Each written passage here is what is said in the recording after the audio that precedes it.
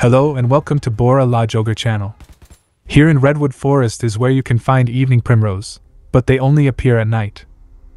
They glow in the dark, so it's more easy to find them. In this video I share with you 4 spawn spots.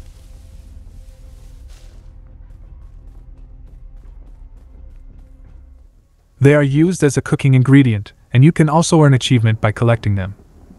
Wish this video helps. If so, don't forget to leave a like, and see you in the next one.